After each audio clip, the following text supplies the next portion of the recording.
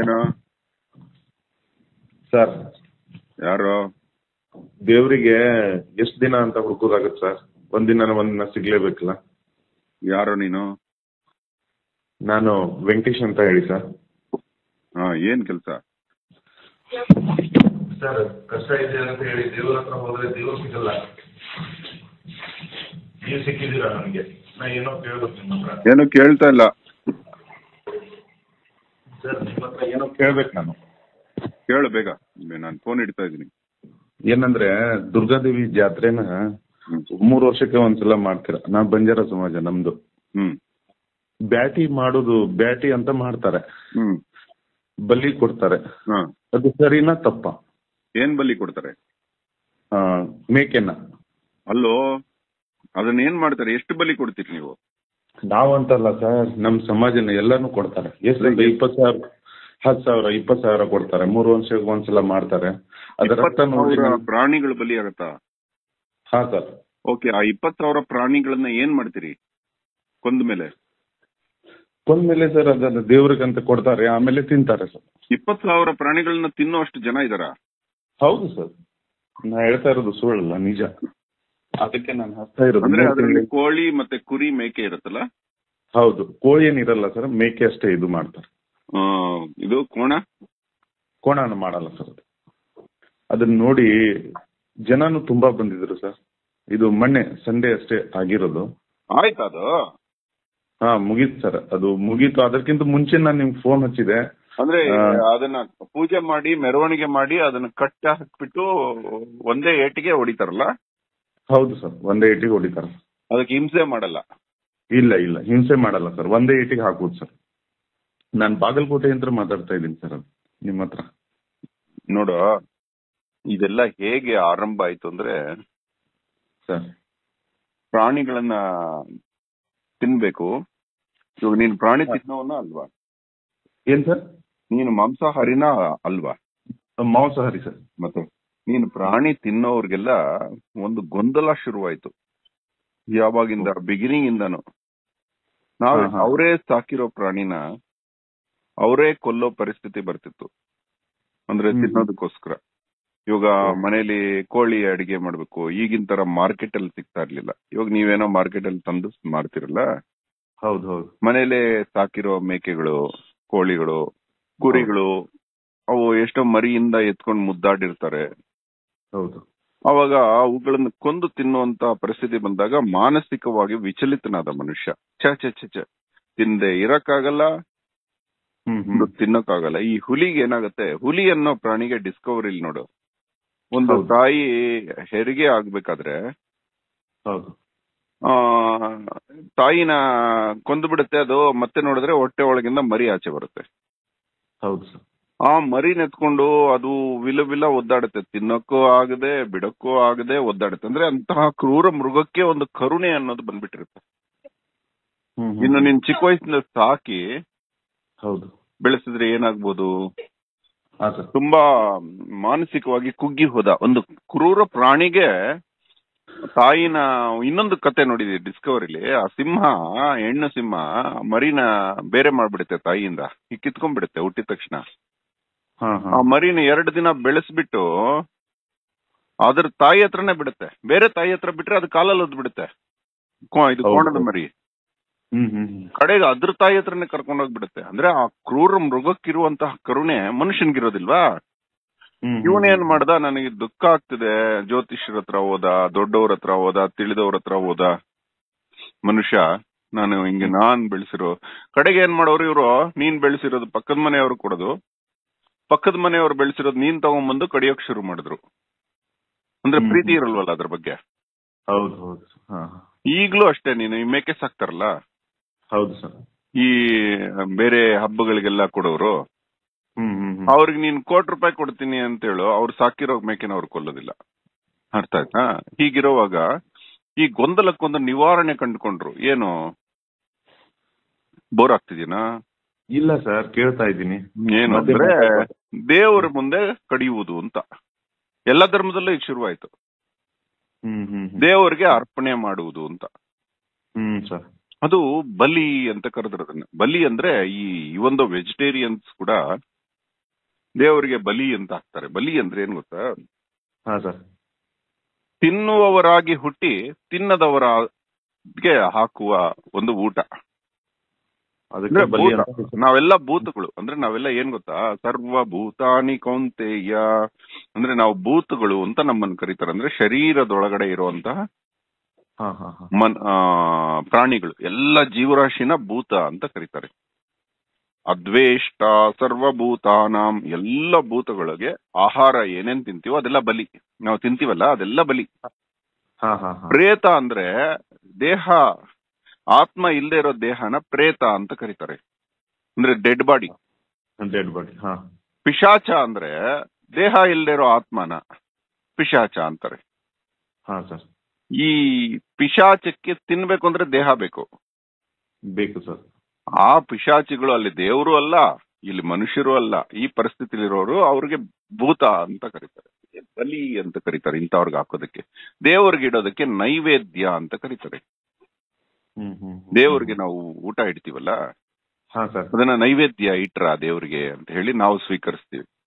ಇದೇನ್ ಮಾಡಿದ್ರು ದೇವರಿಗೆ ಬಲಿ ಹಾಕಿದ್ರು. ಅಂದ್ರೆ ದೇವ್ರ ಮುಂದೆ ಕಡ್ದು ನಾವು ತಿನ್ನೋದು. ಅನ್ನೋದು. ಇವ್ರ ಕಾನ್ಸೆಪ್ಟ್ ಡೆವಲಪ್ ಆಯ್ತು.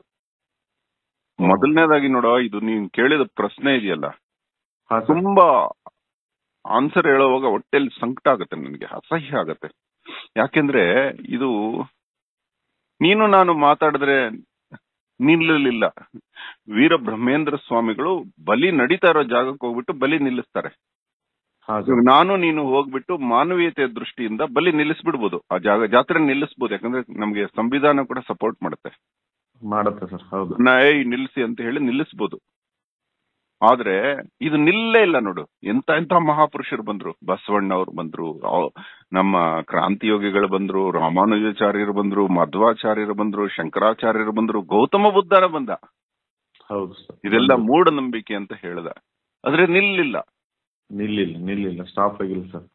ಯಾಕೆ. ನಿಲ್ಲಿಲ್ಲ ಅಂದ್ರೆ ನೋಡು ಈ ಜೀವಿ ಜೀವಿಯನ್ನೇ ತಿಂದು ಬದುಕಬೇಕು ಮಣ್ಣು ತಿಂದು ಮನುಷ್ಯ ಬದುಕೋಕ್ಕಾಗಲ್ಲ ಎಷ್ಟು ದಿನ ಮಣ್ಣಲ್ಲಿರೋ ಕಣ್ ಇದು ಲವಣಗಳು ಎಲ್ಲ ಯೂಸ್ ಆಗುತ್ತೆ ನಮ್ಗೆ.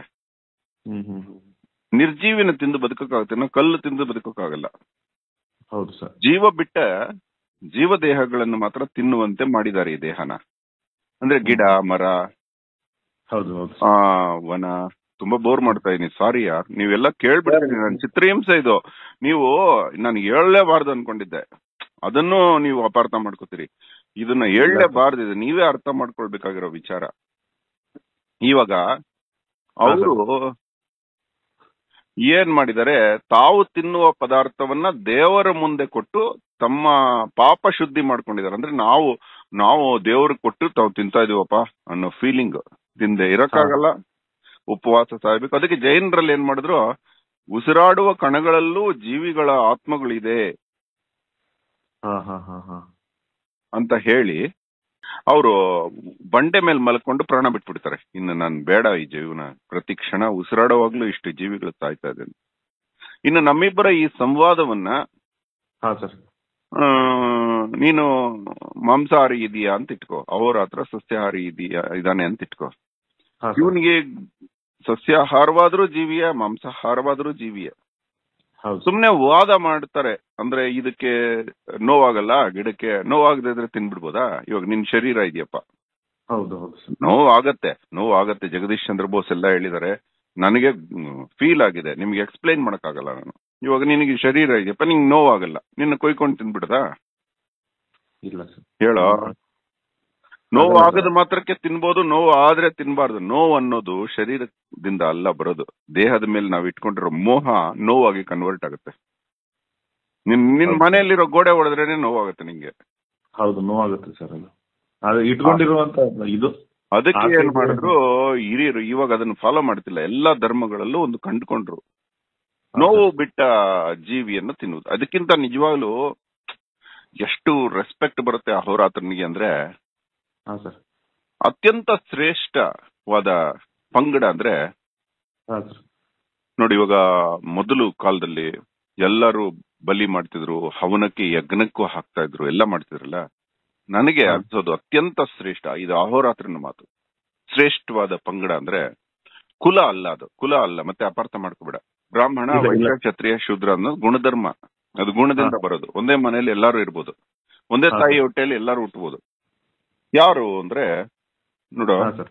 ನಮ್ಮ ಹಳ್ಳಿ ನೀನ್ ಹಳ್ಳಿಲಿ ಹುಟ್ಟಿದ್ದೀನಾ ನಾ ಹಳ್ಳಿಯಲ್ಲಿ ಹುಟ್ಟಿ ಸಿಟಿಯಲ್ಲಿ ಇದ್ದೀನಿ ಸರ್ ನಾನು. ಹಳ್ಳಿಯಲ್ಲಿ ನಮ್ಮ ಹಳ್ಳಿಲಿ ಮನೇಲಿ ಯಾವ್ದಾದ್ರು ಪ್ರಾಣಿ ಸತ್ತು ಹೋದ್ರೆ. ಹಾ ಸರ್. ಸತ್ತದ್ದನ್ನ ಆ ಮನೆಯವರು ತಿನ್ನೋದಿಲ್ಲ.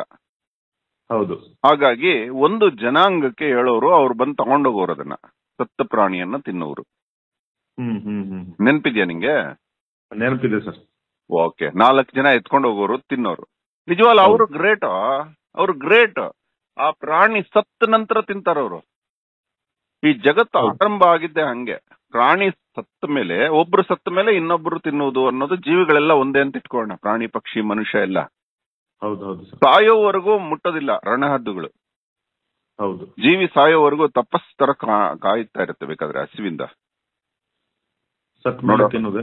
ಸತ್ತ ಮೇಲೆ ತಿಂತಾ ಇದ್ರು ಅವರು. ಅವರು ಗ್ರೇಟ್ ಅಲ್ಲೇನಾ? ಇವ್ರು ಕೊಂದು ತಿನ್ನೋರ್ಗಿಂತ ಸತ್ತ ಮೇಲೆ ತಿನ್ನೋರು ಗ್ರೇಟ್ ಅಲ್ವಾ? ನೋವು ಕೊಡ್ತಾ ಇಲ್ಲ ಅವರು. ಹೌದು ಸರ್ ಹಂಡ್ರೆಡ್ ಪರ್ಸೆಂಟ್ ಅವ್ರನ್ನ ಕೀಳು ಮಾಡ್ಬಿಟ್ರು ಜನ. ಅಸಹ್ಯ ಪಟ್ಕೊಂಡ್ರು. ಆಕ್ಚುಲಿ ನಿರ್ಮಲ ಜನಾಂಗ ಅದು. ಅವ್ರು ಕೊಂದು ತಿನ್ನೋದಿಲ್ಲ. ಅತಿ ಪವಿತ್ರ ಜನಾಂಗ.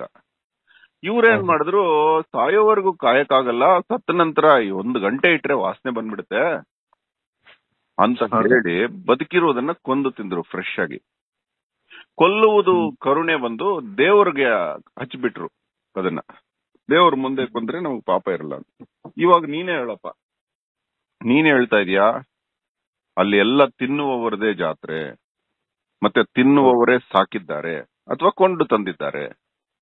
ದೇವರ ಮುಂದೆ ಬಲಿ ಕೊಟ್ಟು ತಾವೇ ತಿಂತಾರೆ ಅಂತ ನೀನ್ ಹೇಳಿದೆ.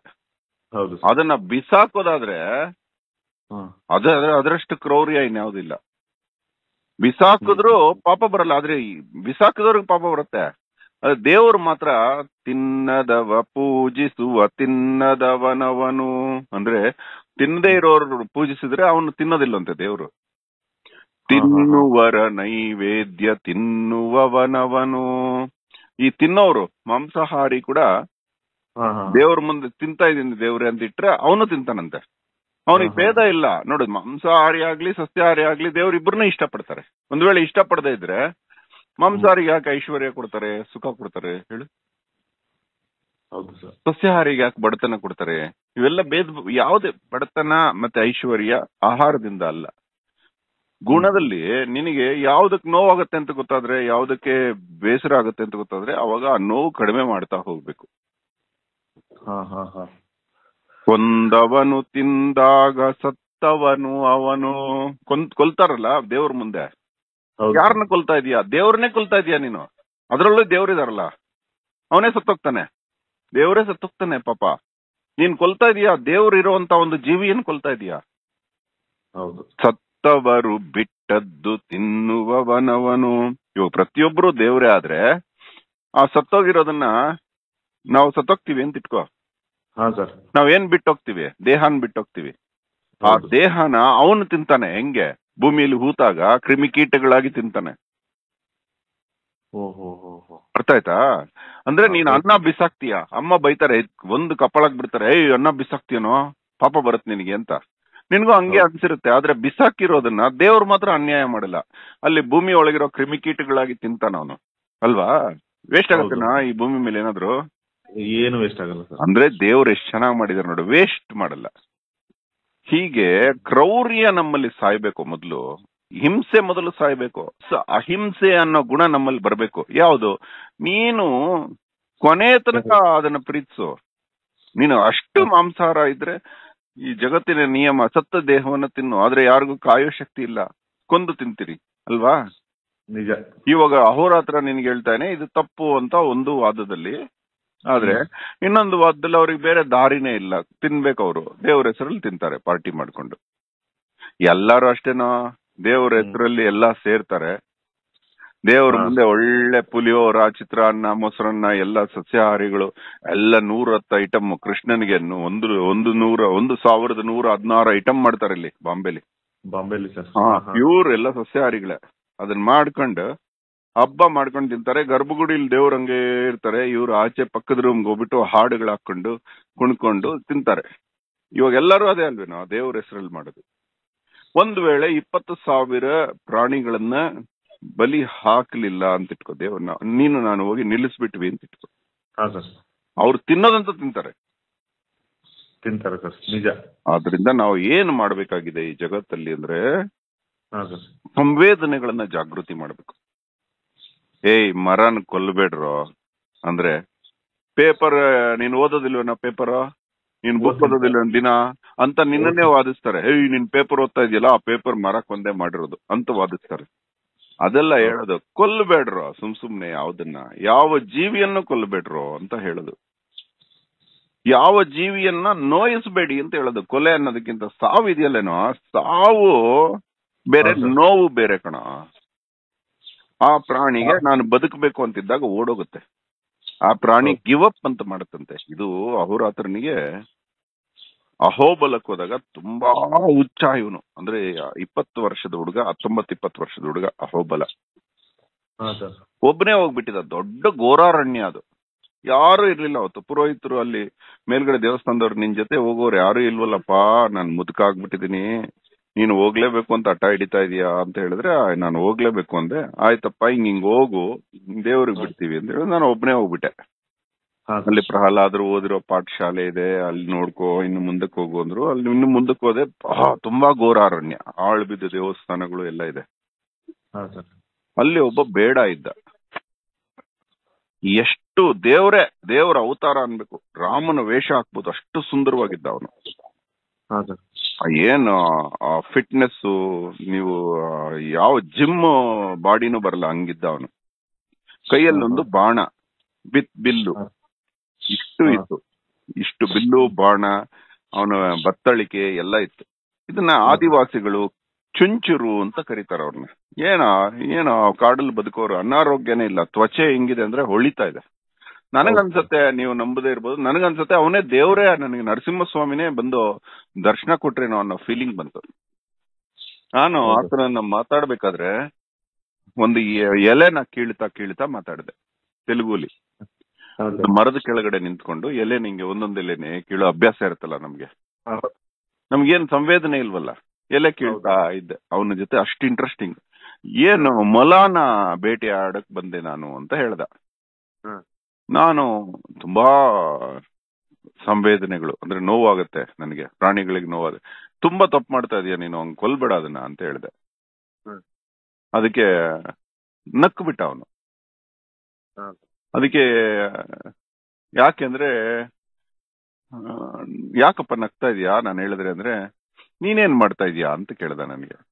ನಾನೇನು ಮಾಡ್ತಿಲ್ಲ ಸುಮ್ನೆ ನಿಂತಿದ್ದೀನಿ ಅಂತ ಎಲೆ ಯಾಕೆ ಕೀಳ್ತಾ ಇದೀಯಾ ಅಂದ. ಸುಮ್ನೆ ಸಮಯ ನಿಮ್ಮ ನಿಮ್ ಹತ್ರ ಮಾತಾಡ್ಬೇಕಾದ್ರೆ ಟೈಮ್ ಪಾಸ್ಗೆ ಅಂದೆ. ಹಾಗಾದ್ರೆ ಅದಕ್ಕೂ ಹೋಗ್ತಾ ಇದೆಯಲ್ಲ ಗಿಡಕ್ಕೆ? ನಿನಗೆ ಹೆಚ್ಚು ನೋವು ಹೆಚ್ಚು ಪಾಪ ಬರುತ್ತೆ ನಿನಗೆ ಅಂದ ಅವನು. ಯಾಕೆ ಅಂದೆ? ನೀನ್ ಆ ಎಲೆನ ತಿಂತಾ ಇಲ್ವಲ್ಲ ಅದಕ್ಕೆ ಅಂದ. ನೀನ್ ಕಿತ್ತ ಎಲೆನ ತಿಂದಿದ್ರೆ ಆ ಮರ ಖುಷಿ ಪಡೋದು ನಾನು ಹಣ್ಣು ಕೊಡ್ತೀನಿ ಆದ್ರೂ ಎಲೆ ಯಾಕೆ ಕೀಳ್ತಾ ಇದೆಯಾ? ನನ್ನ ಊಟದ ಮನೆ ಇದು ಅಂತ ಹೇಳ್ದ ಅವನು.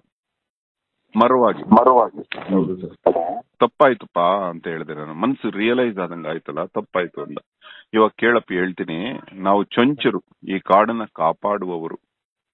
ನರಸಿಂಹಸ್ವಾಮಿಯ ಚೊಂಚುರಾಣಿ ಲಕ್ಷ್ಮಿಗೆ ಅಣ್ಣ ತಮ್ಮಂದ್ರ ವಂಶ ನಮ್ದು. ನಮ್ ನರಸಿಂಹಸ್ವಾಮಿಯ ಅತ್ತೆ ಮನೆ ನಮ್ದು. ನಾವಿಲ್ಲಿ. ತುಂಬಾ ಜನಾಂಗ ಇದೀವಿ ಕಾಡಲ್ಲಿ. ಹಾ ಸರ್. ನಾವು ನಮಗೆ ಈ ಕಾಡಿನ ರಕ್ಷಣೆ ನಮ್ಮ ಹೊಣೆ. ಈ ಕಾಡಲ್ಲಿ. ಯಾವ ಜೀವಿಗೂ ತೊಂದರೆ ಆಗದಂಗೆ ನಾವು ಸುತ್ತುತ್ತಾ ಇರ್ತೀವಿ.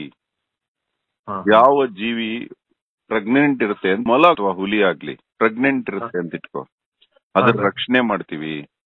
ತಾಯಿ ಆಗ್ಲಿ ಮಗು ಆಗ್ಲಿ ಅದ್ರ ರಕ್ಷಣೆ ಮಾಡ್ತೀವಿ. ನಾವು ಬೇಟೆ ಆಡ್ಬೇಕಾದ್ರೂ ಅದು ದೊಡ್ಡದಾಗಿದೆಯಾ ಚಿಕ್ಕದಾಗಿದೆಯಾ ನೋಡ್ತೀವಿ. ಗರ್ಭಿಣಿ ತಾಯಿಯನ್ನಾಗ್ಲಿ ಅಥವಾ ಆವಾಗ ತಾನೇ ಹುಟ್ಟಿರೋ ಮರಿಗಳನ್ನ ನಾವು ಯಾವತ್ತೂ ಕೊಲ್ಲಲ್ಲ. ಸರೆಂಡರ್ ಆಗಿರೋ ಪ್ರಾಣಿಗಳನ್ನ ಕದ್ದು ಕೊಲ್ಲೋದಿಲ್ಲ ನಾವು ಅದರ ಹಿಂದೆ ಬಿದ್ದಿರೋದು ಅದಕ್ಕೂ ಗೊತ್ತಿರುತ್ತೆ. ಆದ್ರ ಅದು ಬೇಟೆಗೆ ಸಿದ್ಧವಾಗತ್ತೆ. ಅದು ಓಡೋಕ್ ಶುರುವಾಗತ್ತೆ. ನಾವು ಅದರಿಂದ ಓಡ್ಬೇಕು. ಜೀವನ ಎಲ್ಲ ಓಡಿದ್ರು ಅದು ಸಿಗದೆ ಇರ್ಬೋದು. ಒಂದ್ ದಿವಸಕ್ಕೆ ಒಂದು ಹಾ ಅವನ್ ಏನ್ ಹೇಳ್ದ ಗೊತ್ತಾ? ಒಂದು ಮೊಲ ಗೊತ್ತಾ ನಿಮ್ಗೆ? ಎಷ್ಟು ಶಕ್ತಿಶಾಲಿ ಹಾವನ್ನು ಕೊಲ್ಲತ್ತದು? ಬೆಕ್ಕಿಗಿಂತ ಶಕ್ತಿಶಾಲಿನಂತೆ ಮೊಲ. ಅದು ಕಾಡು ಮಲ ನೀವೆಲ್ಲ ಊರಲ್ಲಿರೋ ವೈಟ್ ಮಲ ನೋಡಿರ್ತೀರಿ ಕಾಡು ಮಲ.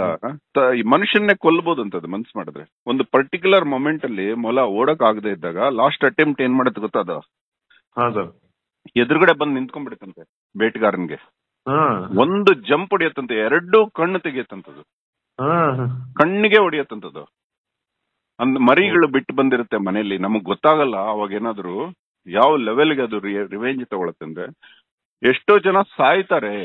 ಅಂದ್ರೆ ನೀನು ಸಾಯ್ಬೇಕು ಇಲ್ಲ ನಾನ್ ಸಾಯ್ಬೇಕು ಅನ್ನೋ ಲೆವೆಲ್ ಇರುತ್ತೆ ನಮ್ಮ ಇಬ್ರಲ್ಲಿ ಹೌದು ಹೌದು ಸರ್. ಹಂಗೆ ಇರುತ್ತೆ. ಆಗಿರೋವಾಗ ಅದು ಸೋತ್ರೆ ನಮ್ಗ್ ಊಟ. ನೀನ್ ಹೇಳ್ತಾ ಇರೋ ಹಿಂಸೆ ಯಾವ್ದು ಅಂದ್ರೆ ನೀವು ಮನೆಗಳಲ್ಲಿ ಕಟ್ಟಾಕ್ತಿರಿ ಪ್ರಾಣಿನ. ಹೌದು. ತಾಯಿ ಮಗುನ ನೆಕ್ಕಕ್ಕೂ ಆಗದಷ್ಟು ಕಟ್ಟಾಕ್ಬಿಡ್ತೀರಿ ಹಸುನ. ಹೌದು ಹೌದು. ನಿಜ ಇದು. ಮತ್ತೆ ನೀವು ಕಟ್ಟಾಕಿದ ಪ್ರಾಣಿನ ಕೊಲ್ತೀರಿ. ಹೌದು ಸರ್. ನೀವು ಮಾಡೋದ್ ತಪ್ಪು. ನಿಮ್ಗೆ ಅಷ್ಟು ಧೈರ್ಯ ಇದ್ರೆ ಬಿಟ್ಟು ಪ್ರಾಣಿನ ಕೊಲ್ಲಿ. ಅದು ಆಗಲ್ಲ ಸರ್. ಮಾನವ ಜನ್ಮಕ್ಕೆ ಆಗಲ್ಲ ಸರ್. ಇಲ್ಲ ಅವನು ಮಾಡಿದ್ನಲ್ಲ. ಅವನು ಹೇಳ್ದ ಅದಕ್ಕೆ ನಾವು ಮಾಡ್ತಾ ಇದೀವಿ. ನಾವು ಆ ರೀತಿ ಏನಾದ್ರೂ ನಮಗೆ ಏನಾದ್ರೂ ನಮಗೆ ಊಟ ಸಿಕ್ಕಿದ್ರೆ ದೇವ್ರು ಕೊಟ್ಟು ಊಟ ಅಂತ ತಿಳ್ಕೊತೀವಿ. ಅವ್ನು ಹೇಳ್ತಾನೆ ಎಷ್ಟೋ ಸಲ ನಮಗ್ ಗೊತ್ತಾಗತ್ತೆ. ಕೊಲ್ಲು ಕೊಲ್ಲು ಅಂತ ಬರ್ತಂತೆ ಪ್ರಾಣಿ. ಸೋತೋಗತ್ತಂತೆ. ಇವಾಗ ನೀನೇ ಆಗ್ಲಿ ಯಾರಾದ್ರೂ ಹೊಡಿತಾ ಇದ್ರೆ ಹೊಡಿ ಹೊಡಿ ಅನ್ನೋಕ್ ಶುರು ಮಾಡ್ಬಿಡ್ತೀಯ. ಎಷ್ಟು ಹೊಡಿತೀಯ? ಹೊಡ್ಕೊಳ. ಕೊಂದ್ ಬಿಡೋ ಒಂದ್ ಕಡೆ ಓದ್ದೆ ಡಾಕ್ಟರ್ ರಾಜ್ಕುಮಾರ್ ಅವ್ರನ್ನ ಕಿಡ್ನಾಪ್ ಮಾಡ್ದ. ಅವರ ಇಂಟರ್ವ್ಯೂ ಒಂದ್ ಕಡೆ ಹೇಳಿದ್ದಾರೆ ವೀರಪ್ಪನ್ ಹಿಡಿದಾಗ ಅವರು ಒಂದು ಪರ್ಟಿಕ್ಯುಲರ್ ದಿನ ಮೊಣಕಾಲ್ ನೋವು ಎಲ್ಲ ಇದೆ. ಒಂದು ಪರ್ಟಿಕ್ಯುಲರ್ ದಿನ ರಾಜ್ಕುಮಾರ್ ಅವ್ರು ಹೇಳಿದ್ರಂತೆ ಕೊಂದ್ಬಿಡಪ್ಪ ನೀನು ಅಂತ. ಸಾಕಪ್ಪ ಕೊಂದ್ಬಿಡು ನೀನು. ಯಾಕೆ ಹಿಂಸೆ ಮಾಡ್ತೀಯಾ ಈ ರೀತಿ? ಅಂತ ಹೇಳ್ಬಿಟ್ರಂತೆ. ಅವನು ದೊರೆ ಹಂಗ್ ಮಾಡಕ್ ಆಗಲ್ಲ ದೊರೆ. ಹಂಗ್ ಮಾಡೋದು ಇಲ್ಲಪ್ಪ ಅಂತ ಹೇಳ್ಬಿಟ್ಟು ಸರೆಂಡರ್ ಆಗ್ಬಿಟ್ನಂತ ಅವನು. ಹೌದು ಸರ್. ಹೀಗೆ ಕೆಲವು ಪ್ರಾಣಿಗಳು ಸರೆಂಡರ್ ಆಗ್ಬಿಡುತ್ತಂತೆ. ಅವಾಗ ನಮ್ ಕೈ ಕೊಲ್ಲಕ್ಕಾಗಲ್ಲ ಅಂತ ಹೇಳ್ತಾನ ಅವನು. ಆ ಸಂವಾದ ಮೂರ್ಖನ ಮಾತುಗಳಲ್ಲಿ ಬರ್ದಿದ್ದೀನಿ ಕ್ಲೀನ್ ಆಗಿ. ಇವಾಗ ಹೇಳು. ಇದು ಜೀವಿ ಜೀವಿಯದ್ದು ಇವಾಗ ಇವಾಗ ಇಲಿ ಓಡತ್ತಪ್ಪ. ಹೌದು ಸರ್. ಇಲಿ ವೇಗ ಹಾವು ಓಡಕ್ ಆಗಲ್ವಾ ಚಾಲೆಂಜ್ ಮಾಡ್ತೀನಿ. ಓಡಕ್ ಆಗಲ್ಲ ಸರ್. ಮತ್ತೆ ಹೆಂಗೆ ಹಾವು ಇಲಿ ನಡೆಯತ್ತೇಳು ಅದೇ ಇಲ್ಲಿ ಇವಾಗ ಒಂದು ಕ್ರಿಮಿ ಇರುತ್ತಪ್ಪ. ಬೇಡವೇ ಬೇಡ ಬೆಂಕಿಯ ಸಂಘ ಅಂತ ಒಂದು ಆಡಿದೆ. ಪತಂಗ ಅಂತ. ಪತಂಗ ಹೋಗಿ ಬೆಂಕಿಲಿ ಬೀಳುತ್ತೆ ಅಂತ. ಯಾಕೆ. ಬೀಳುತ್ತೆ ಹೇಳು? ಪ್ರಾಣಿಗಳು ಒಂದು ಪರ್ಟಿಕ್ಯುಲರ್ ಟೈಮಲ್ಲಿ ಆತ್ಮಹತ್ಯೆ ಮಾಡ್ಕೊಳತ್ತೆ. ಪ್ರಾಣಿಗಳು ಇದೆ ಸರ್ ಆತ್ಮಹತ್ಯೆ. ಹೌದು ತುಂಬಾ ತುಂಬಾ. ಕೆಲವು ಮೀನುಗಳೇ ಮಾಡ್ಕೊಳತ್ತಂತೆ. ಆತ್ಮಹತ್ಯೆ ಪ್ರಾಣಿಗಳು. ಅದೇ ಸರೆಂಡರ್ ಆಗ್ಬಿಡುತ್ತೆ ನನಗೆ. ಸಾಕು ಈ ಜನ್ಮ ಅಂತ. ಇವಾಗ ಈ ಚೇಳಿದೆಯಲ್ಲ ಹೊಟ್ಟೆ ಬಗದ ಆಚೆ ಬರುತ್ತೆ ಮಕ್ಕಳು. ಅದು ಗೊತ್ತಿರುತ್ತೆ ನಾನು ಗರ್ಭಿಣಿ ಆದ್ರೆ ನಾನು ಸತ್ತೋಗ್ತೀನಿ ಅಂತ. ಪ್ರಿಪೇರ್ ಆಗ್ಬಿಡುತ್ತೆ. ಈ ಗಂಡು ಚೇಳಂತೂ ಹೆಣ್ಣು ಚೇಳನ್ನ ಸೇರಿದ ದಿವಸನೇ ಅದಕ್ಕೆ ಗೊತ್ತಿರುತ್ತೆ. ನಾನು ಈ ಸಂಗಮ ಆದ ತಕ್ಷಣ ನನ್ನ ಕೊಲ್ಲತ್ತೆ ಇದು ಹೆಣ್ಣು ಚೇಳು ತಿಂದ್ಬಿಡುತ್ತೆ ಅಂತ. ಹೆಣ್ಣು ಚೇಳು ಗಂಡು ಚೇಳನ್ನ ಸೇರಿದ ತಕ್ಷಣ ತಿಂದ್ಬಿಡುತ್ತೆ. ಹೌದೌದು. ಅವಾಗ ಆ ಗಂಡು ಚೇಳು ಆ ಸೇರುವ ಸುಖ ಅದರ ತಲೆಯಲ್ಲಿ ಎಷ್ಟು ಕೂತಿರುತ್ತೆ ಅಂದ್ರೆ ಸತ್ರು ಪರವಾಗಿಲ್ಲ ನಾನು ಇದನ್ನ ಸೇರ್ಬಿಡ್ಬೇಕು ಅನ್ಕೊಳತ್ತೆ. ಇದು. ಇವೆಲ್ಲ ಇದೆಯಲ್ಲ ಈ ಮನುಷ್ಯ ಈ ಸಂವೇದನೆಗಳನ್ನ ಮೀರಿ ಹೋಗ್ತಾ ಇದ್ದಾನೆ. ಎಷ್ಟು. ಇಂಟ್ರೆಸ್ಟಿಂಗ್ ಇದನ್ನ ಮೂರ್ನಾಲ್ಕು ದಿನ ಮಾತಾಡ್ಬೋದು. ನೋಡು ಅಹೋರಾತ್ರನ ಮಾತು ಕೇಳಿ ತಿನ್ನುವವರು ಪ್ರಚೋದನೆನೂ ಅಲ್ಲ ತಿನ್ನದಿರುವವರಿಗೆ ದುಃಖನೂ ಅಲ್ಲ. ಇವಾಗ ನೋಡ ರೇಷ್ಮೆ ಬಟ್ಟೆ. ನೀನೇ ಹೇಳ. ನೀನು ಜೀವಮಾನದಲ್ಲಿ ಇದುವರೆಗೂ ಹುಟ್ಟಿದಾಗ್ಲಿಂದ ಎಷ್ಟು ಪ್ರಾಣಿಗಳನ್ನ ತಿಂದಿರ್ಬೋದು ಹೇಳು. ಎಷ್ಟು ಅಂದ್ರೆ ಚಿಕ್ಕದವನ ಇದ್ದಾಗ ಹೊರಗಡೆ ಅಂತ ಬ್ಯಾ ಇದು ವರ್ಷಕ್ಕೆ ಮೂರ್ ವರ್ಷಕ್ಕೆ ಒಂದ್ಸಲ ಮಾಡ್ತೀವಿ ಸರ್ ನಾವು ಬ್ಯಾಟಿನ ಮಾಡ್ತೀವಿ. ಆಯ್ತಪ್ಪ ನಾನು ನಾನ್ ಹೇಳೋದು ಅಷ್ಟು ಒಂದು ಎರಡು ಮೂರು ನೂರು ಅಂತ ಹೇಳು ನೂರು ಪ್ರಾಣಿ ಕೊಂದಿರ್ಬೋದಾ ಅಷ್ಟಾಗಲ್ಲ ಸರ್ ಒಂದ್ ಇಪ್ಪತ್ತರ ಮೂವತ್ತಾಗಿರ್ಬೋದು ಆಯ್ತು ಒಂದು ರೇಷ್ಮೆ ಸೀರೆಯಲ್ಲಿ ಕಡಿಮೆ ಅಂದ್ರೆ ಮೂರು ಲಕ್ಷ ಹುಳುಗಳು. ಹಾ ಸರ್. ಸಾಯೋದಲ್ಲ ಕುಯ್ದು ಸಾಯೋದಲ್ಲ. ಬಿಸಿ ಬಿಸಿ ನೀರಲ್ಲಿ ವಿಲ ವಿಲ ವಿಲ ವಿಲ ಒದ್ದಾಡಿ ಗಂಟೆಗಟ್ಲೆ ಸಾಯುತ್ತೆ. ಆ ಒಂದು ರೇಷ್ಮೆ ಸೀರೆ ಒಂದು ವೆಜಿಟೇರಿಯನ್ ತಿನ್ನುವ ಹೆಣ್ಣು ಅಥವಾ ಒಂದು ರೇಷ್ಮೆ ಪಂಚೆ ಒಂದು. ವೆಜಿಟೇರಿಯನ್ ತಿನ್ನುವ ವ್ಯಕ್ತಿ ಉಡೋದಕ್ಕೆ ಲಕ್ಷ ಜೀವಿಗಳು ನಿನ್ನ ಜೀವಮಾನದಲ್ಲಿ ಕೊಂದಿರಲ್ಲ ಅಷ್ಟು ಜೀವಿಗಳು ಸಾಯ್ಬೇಕಾಗತ್ತೆ. ಇವಾಗ ಹೇಳಿ ಯಾರು ವೆಜಿಟೇರಿಯನ್ ಯಾರು ನಾನ್ ವೆಜಿಟೇರಿಯನ್ ಹೇಳ? ಇವಾಗ ಸರ್ ನನಗೆ ಅರ್ಥ ಆಗ್ತಾ ಇದೆ ವೆಜ್ ನಾನ್ ವೆಜ್ ಏನು ಅಲ್ಲ ಸಂಬಂಧ ಇಲ್ಲ ಎಲ್ಲರೂ ವಿಕಲ ಆಗುತ್ತೆ ಸರ್ ಇದರಲ್ಲಿ. ಇವಾಗ ನೋಡು ತಿನ್ನುವವನ ಮಗು ತಿನ್ನದವನಾಗ್ಬೋದು. ತಿನ್ನದವನ ಮಗು ತಿನ್ನುವವನಾಗ್ಬೋದು. ಎಷ್ಟೋ ಮನೆಯಲ್ಲಿ ತಿನ್ನುವವ್ರ ಮನೆಯಲ್ಲಿ ನೀನ್ ನೋಡಿರ್ಬೋದು ತಿಂದೇ ಇರೋರು ಹುಟ್ಟಿರ್ತಾರೆ. ಹೌದು ಸರ್. ತಿನ್ನದವನ ಮನೆಯಲ್ಲಿ ತಿನ್ನುವವರು ಹುಟ್ಟಿರ್ತಾರೆ. ಹೌದು ಸರ್ ನಿಜ ಇದು. ಅವನನ್ನ ತಿನ್ಬೇಡ ಅನ್ನೋದು ತಪ್ಪು ಇವನನ್ನ ತಿನ್ನು ಅನ್ನೋದು ತಪ್ಪು. ಹೌದು ಹೌದು ಹೌದು. ಇದು ಕಣ್ಣು ತೆರಿಬೇಕು. ನಮ್ಮಿಬ್ಬರ. ಡಿಸ್ಕಷನ್ ನೋಡಿ ಏಯ್ ಇನ್ಮೇಲೆ ಆರಾಮಾಗಿ ತಿನ್ನೋಣ ಅಂತ ಅನ್ಕೊಂಡ್ರೆ ಅದು ಅವ್ರ ಮೂರ್ಖತನ. ನಿಜ. ಅದೇ ಒಂದು ಹೇಳ್ತೀನಿ ಕೊನೆ ಮಾತು. ಗಿಡ ಆಗ್ಲಿ ಮರ ಆಗ್ಲಿ ಪ್ರಾಣಿ ಆಗ್ಲಿ ಪಕ್ಷಿ ಆಗ್ಲಿ ತಿನ್ನುವವ ತಿನ್ನಿಸಿಕೊಳ್ಳಲು ಸಿದ್ಧನಾದ್ರೆ ಮಾತ್ರ ತಿನ್ನುವಂತಾಗ್ಲಿ. ನೀನು ತಿನ್ನಿಸ್ಕೊಳ್ಳೋದು ನಾಳೆ ನೀನೊಂದು ಪ್ರಾಣಿಯನ್ನ ಕಟ್ಟಿ ಹಾಕಿ ಕೊಂದು ತಿಂದೆ ಅಂತ ಇಟ್ಕೋ. ನಾಳೆ ಮುಂದಿನ ಜನ್ಮದಲ್ಲಿ ನಿನ್ನನ್ನ ಕಟ್ಟಿ ಹಾಕಿ ಕೊಂದು ತಿಂದ್ರು ಸಿದ್ಧವಾಗಿರ್ಬೇಕು ಅಥವಾ ಹಿಂದಿನ ಜನ್ಮದಲ್ಲಿ ನೀನ್ ಕೊಂದು ನೀನು ಕೊಲ್ಲಿಸ್ಕೊಂಡಿದೀಯಾ ಅಂತ ತಿಳ್ಕೊ. ಇವೆಲ್ಲ ನೋವುಗಳಿಗೂ ಸಿದ್ಧ ಆಗ್ಬೇಕು ಮನುಷ್ಯ. ಅರ್ಥ ಆಯ್ತಾ? ಆಯ್ತು. ಇವಾಗ ಕೊಲೆ. ಮಾಡ್ತಾನೆ ಅಂತ ಇಟ್ಕೋ ಅಂದ್ರೆ ಒಬ್ಬ ಸೈನಿಕ ಎದುರು ಮನುಷ್ಯನ ಶೂಟ್ ಮಾಡ್ತಾನೆ ಅಂತ ಇಟ್ಕೋ ಬೇರೆ ದೇಶದವನನ್ನ. ಅವನಿಗೆ ಪರಮವೀರ ಚಕ್ರ ಸಿಗುತ್ತೆ. ಅದು ಕೊಲೆ ಅಂತ ಮರಣದಂಡನೆ ಯಾಕೆ ಸಿಗಲ್ಲ? ಯಾಕಂದ್ರೆ ಇವನು ಕೊಲ್ಲುವುದಕ್ಕೆ ಮುನ್ನವೇ ಸತ್ತು ಹೋಗಿರ್ತಾನೆ. ಯಾಕಂದ್ರೆ ನಾನ್ ನಾನ್ ಸತ್ರು ಪರವಾಗಿಲ್ಲ ಅಂತ ನಿಂತಿರ್ತಾನೆ. ಹೌದು. ಇದು ಇಬ್ರಲ್ಲಿ ಯಾರು ಸಾಯ್ತಾರೆ ಅನ್ನೋದು ಒಂದು ಚಾಲೆಂಜ್ ಆಗೋಗುತ್ತೆ. ಅಲ್ವೇನಾ? ಹೌದು ಹೌದು. ನಿಜ ಸರ್. ಈಗ ಹೇಳು. ನಿನ್ನ ಪ್ರಶ್ನೆಗೆ ನಿನಗೆ ಉತ್ತರ ಸಿಕ್ತಲ್ಲೇನೋ ಸಿಕ್ತು ಸರ್. ಅಂದ್ರಾಗಿ ಹಾಗಾಗಿ ಅದಕ್ಕೆ ನಿಮ್ಮನ್ನೆಲ್ಲ ನಾನು ಹೇಳೋದು ಕತ್ತೆಗಳ. ಪ್ರಶ್ನೆಗಳನ್ನ ನುಂಗ್ರು ಈ ಕತ್ತೆ ಹತ್ರ ಬಂದು ಯಾಕೋ ಹೇಳ್ತೀರಿ ಅಂತ. ಅಲ್ಲ ಸರ್ ಅದು ಎಲ್ಲಿ ಸಿಗ್ಬೇಕು ಅಲ್ಲೇ ಸಿಗತ್ತೆ ಇಲ್ವೋ ದಯವಿಟ್ಟು ಹಿಂಗೆಲ್ಲ ನೀವೇ ಸಂಪಾದಿಸಬೇಕಾಗಿರೋ ಉತ್ತರಗಳು ಇವೆಲ್ಲ.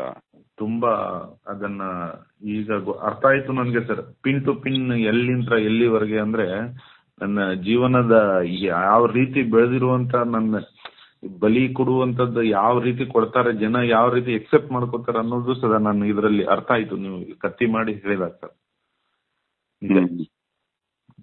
ಎಷ್ಟೋ ಜನ ಬಲಿ ಮಾಡುವಾಗ ನಾವು ಚಿಕ್ಕ ವಯಸ್ಸಲ್ಲಿ ನಮ್ಮೂರಲ್ಲಿ ದೇವ್ರ ಅಂತ ಆಗ್ತಿತ್ತು. ನೀನ್ ಹೇಳ್ದಂಗೆ ಹತ್ ಸಾವಿರ ಇಪ್ಪತ್ ಸಾವಿರ ಪ್ರಾಣಿಗಳನ್ನ ಕೊಲ್ಲೋರು. ಹಾ ಸರ್.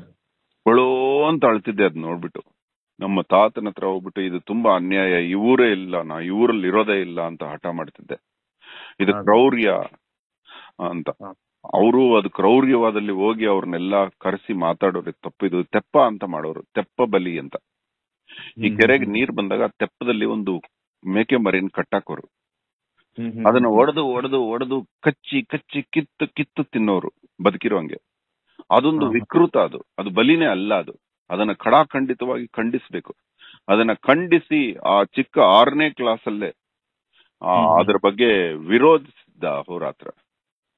ಅಂತವೆಲ್ಲ ನಾವು ತಡೆಗಟ್ಟಬೇಕು. ಅರ್ಥ ಆಯ್ತಾ? ಅದು. ವಿಕೃತ ಮೂಢನಂಬಿಕೆ. ಹ್ಮ್. ತುಂಬಾ ಸಂತೋಷ ಆಯ್ತು. ತುಂಬಾ ಹೊತ್ತು ಮಾತಾಡಿದೆ ನೀನು. ಒಳ್ಳೇದಾಗ್ಲಿ. ಏನಾದ್ರೂ ಇದನ್ನ ಇದನ್ನ ಫೇಸ್ಬುಕ್ ಹಾಕ್ತೀನಿ. ಇದರಿಂದ. ಅಹೋರಾತ್ರನ ತಪ್ಪುಗಳು ಕಂಡವರು ಅಹೋರಾತ್ರನನ್ನ ಕ್ಷಮಿಸ್ಬೇಕು. ಇನ್ನು ನಿಮ್ ಮನೇಲಿ ಬ್ಯಾಟ್ ಇಟ್ಕೊಂಡಿರ್ತಾರೋ? ಏ ಸೊಳ್ಳೆ ಬ್ಯಾಟ್. ಚಿಟ್ಟಪಟ್ಟ ಚಿಟ್ಟಪಟ್ಟ ಸುಡೋದು ಅದು. ಅದೊಂದು ಎಂಟರ್ಟೈನ್ಮೆಂಟ್ ಆಗಿದೆ. ಅದಕ್ಕಿಂತ ದೊಡ್ಡ ಹಿಂಸೆ ಇನ್ಯಾವುದಿಲ್ವೋ ನೀನ್ ವೆಜ್ ಆಗಿರ್ಲಿ ನಾನ್ ವೆಜ್ ಆಗಿರ್ಲಿ ಮನೇಲಿ ಬ್ಯಾಟ್ಗಳು ಇಟ್ಕೊಂಡಿರ್ತಾರೆ.